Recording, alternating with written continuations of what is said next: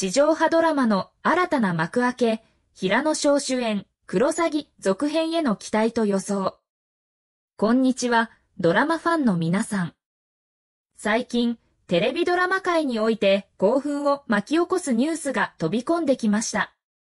昨年10月に放送されたクロサギ2022の続編が制作される可能性が浮上しているのです。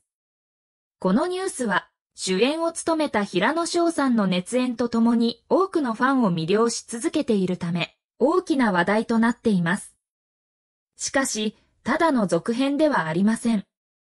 今回のクロサギ続編には、驚くべき要素や興味深い展開が待ち受けています。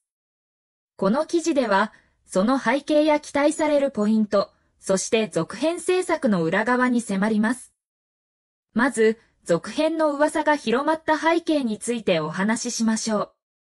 黒サギ2022の第3話のラストシーンには、黒崎の旅は続くという謎めいたメッセージが登場しました。これが続編の可能性を匂わせているのではないかと、ファンたちは熱く議論していました。しかし、その後、平野さんがジャニーズ事務所を離れたことで、主演続行は難しいのではないかという懸念も広がっていました。そんな中、先日、女性自身が報じたところによれば、TBS 内で、クロサギ、続編を制作する動きがあるとのこと。さらに、初代クロサギの主演である山下智久さんがスペシャルゲストとして登場する可能性も浮上しているのです。これにより、ファンたちは再び平野さんのクロサギを楽しむことができるのではないかという期待が高まっています。TBS は新たな制作会社ザセブを立ち上げ、20億円もの費用をかけて新スタジオを建設しています。これにより制作開始が早まり、2024年冬には放送が可能との見方も出ています。もし実現すれば、待望のクロサギ、続編は2025年1月からの冬ドラマとして輝くことでしょう。クロサギ2022と往年のクロサギにはどのような違いがあるのか気になりますよね。原作漫画のシリーズに注目してみると、クロサギ2022はシリーズ1、クロサギを元に制作されています。これに対して、従来のクロサギはシリーズ1から13までを元に制作されていました。つまり、クロサギ2022はリメイクというよりも、リメイク続編といった趣が強いのです。脚本を務めた篠崎恵里子さんも前作に続き、今回も脚本を担当。キャストが異なるため、雰囲気も一味違うものになることでしょう。ファンにとっては、新たな展開に期待が高まりますね。続編に向けて、平野紫耀さんの演技力についても触れておきたいと思います。彼はジャニーズ事務所に入所する前から地元名古屋で活動し、その後、キングプリンスとして音楽デビュー。俳優としても NHK の中学生日記などで実績を積んでいます。ドラマ、クロサギでは、ベテラン俳優たちと共演しながらも、その存在感で視聴者を引き込みました。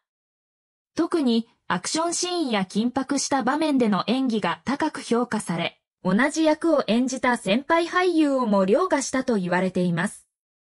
石井康春監督からも、平野翔は最高最強のエンターテイナーだ、と絶賛され、その才能が認められています。ファンや俳優仲間からも高い評価を受けている平野さんの今後の活躍にも期待が高まります。クロサギの新たな冒険が始まる前に、これまでの感動を振り返りつつ、新たな展開にワクワクしましょう。新たな情報が入り次第、こちらでお知らせいたしますのでお楽しみに。ドラマファンの皆さん、クロサギの続編がどのような物語を紡ぐのか、期待と興奮が止まりませんね。新しいキャラクターの登場や物語の深みが増すことでしょう。クロサギの続編に対する期待が高まる中、制作側がどのような挑戦に直面しているのかも興味深い点です。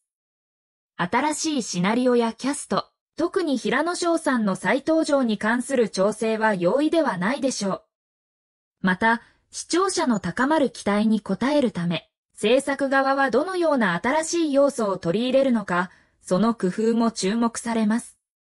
現代の視聴者は単に物語を楽しむだけでなく、その背後にあるメッセージやテーマにも敏感です。クロサギ、続編がどのような社会的倫理的問題を提起するのか、またその解決に向けてどのような視点を提供するのかが重要なポイントとなります。例えば、現代社会における詐欺の手口が進化する中で、黒崎の新たな戦略や対策も進化する必要があります。続編では、キャラクターの成長と人間ドラマが一層深く釣りされることが期待されます。黒崎自身の過去や内面の葛藤がさらに描かれることで、視聴者は彼の行動や決断に一層共感できるようになるでしょう。また、新たな登場人物との関係性や対立が物語に深みを与え、視聴者を引き込むこと間違いありません。例えば、黒崎の新たなライバルや盟友が登場することで、物語は一層複雑でダイナミックな展開を見せることが期待されます。これにより、視聴者は各キャラクターの背景や動機に対する理解を深め、一層物語に引き込まれるでしょう。ドラマが現実世界とのリンクを強めることで、視聴者の興味をさらに引きつけることができます。例えば、最近のニュースや事件をモチーフにしたエピソードを取り入れることで、視聴者は物語に一層のリアリティを感じることができます。また、社会問題や倫理的なジレンマを描くことで、視聴者に考えさせるドラマとなるでしょう。現代のドラマ制作において、ファンの声を反映することは重要です。SNS やファンコミュニティを通じて寄せられる意見や希望を取り入れることで、視聴者との一体感を高めることができます。制作側がファンとのコミュニケーションを大切にし、彼らの期待に応えるような作品作りを目指すことが、ドラマの成功につながるでしょう。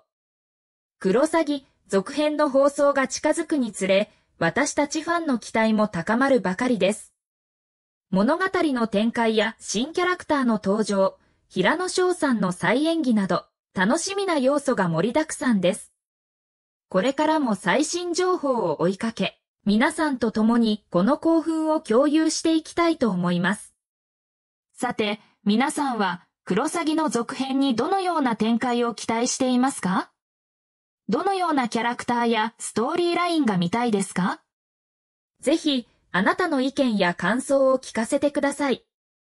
そして、一緒にこの新たな冒険を楽しみに待ちましょう。そして、皆さんに問いたいです。果たして、今回の続編ではどのような新たな詐欺が描かれるのでしょうか？黒崎の旅はどこへ続くのか？その答えを見つけるために、これからの情報を見逃さずに追いかけましょう。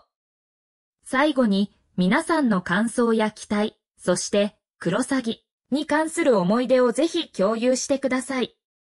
この壮大な物語の続きがどのように展開するのか、一緒に楽しみにしましょう。